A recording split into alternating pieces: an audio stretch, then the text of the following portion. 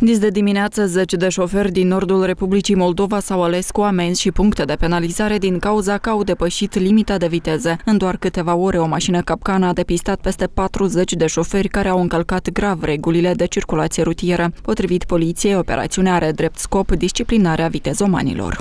2 km în spate este ambasat automobilul capcană, care fixează depășirea limitei de viteză. Pentru că a depășit limita de viteză, acest bărbat a fost sancționat cu 4 puncte de penalizare și va fi nevoit să achite o amendă de 900 de lei. Unitatea de transport a fost fixat cu 88 km la oră, la indicatorul 50 km la oră, la intersecția satul Pârnița cu satul Răuțel. Nicem la, la aeroport și... Dar nu, că, nu când mă grăbim, pur și simplu n-am atras atenție, probabil, că la indicator. La... Vă pare rău? Da. Cui nu-i pare rău? Ce o să faceți mai departe? Da, să respectăm, ne să nu încălcăm altceva. Sunteți de acord cu amenda? Dar n-am încotro. Lege lege. Șoferii se justifică însă recunosc că viteza excesivă poate avea consecințe grave pentru participanții la trafic. Я давно по этой трассе не ехал. И что-то я отвлекся, что там знак поставили. Что скорость превысил на участке. Счастье какое. Ну, первый, получается, в 22-м не было штрафа. То 23-й открылся год, к сожалению.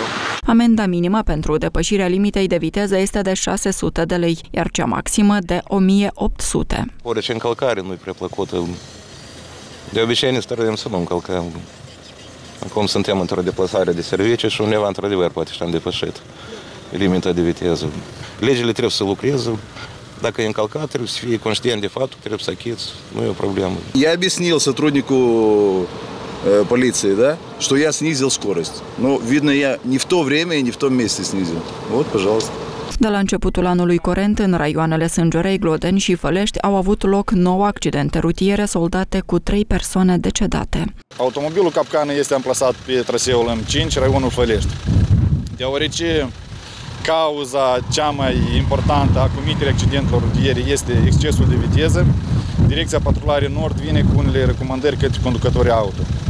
Să respecte limita de viteză atât în localități cât și pe drumurile publice, să adapteze viteza condițiilor climaterice, să fie precauți, să nu se urce în stare de ebrietate la volan, să cupleze centura de siguranță în timpul deplasării. În măsura dată are drept scop nu doar sancționarea conducătorilor auto, dar și responsabilizarea lor. Anul trecut, în Republica Moldova, au fost înregistrate 2312 accidente rutiere, în rezultatul cărora 217 persoane au decedat, iar altele 2586 au fost traumatizate.